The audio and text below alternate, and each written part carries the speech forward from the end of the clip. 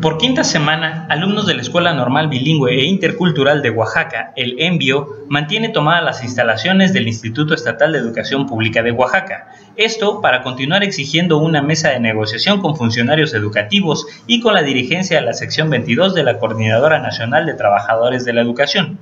Los estudiantes que se retiraron de esas oficinas el pasado viernes por la tarde regresaron el día de ayer al IEPO para continuar con su medida de presión piden que se les asigne una nueva plantilla de profesores con perfil bilingüe y se destituya a quienes desestabilizan a la institución.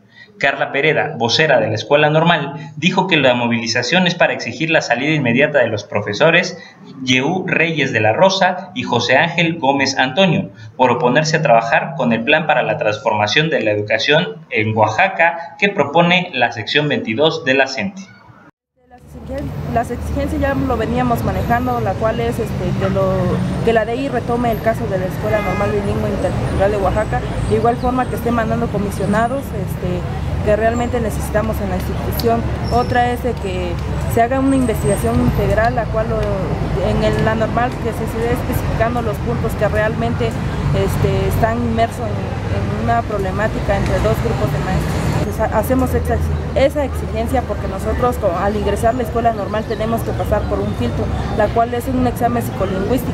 De allí sigue el examen cognitivo. Entonces, para poder ingresar debes de hablar, escuchar y escribir la lengua.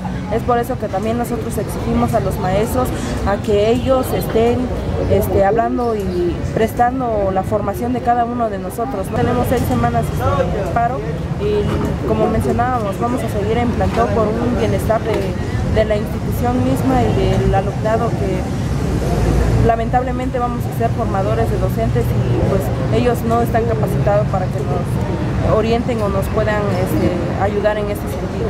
Por esta situación que se ha venido manejando es por culpa del exdirector que es este, el maestro José Ángel Gómez Antonio. Los inconformes argumentan que los funcionarios desestabilizan el orden académico al interior de las 11 escuelas normales de Oaxaca, pero especialmente en la ENVIO, en donde un grupo de docentes ejecuta sus indicaciones, por lo que los consideran enemigos del peteo y de la educación pública. En esta institución, 32 maestros imparten la licenciatura de primaria preescolar a 300 alumnos que ya desde hace seis meses se mantienen en plantón.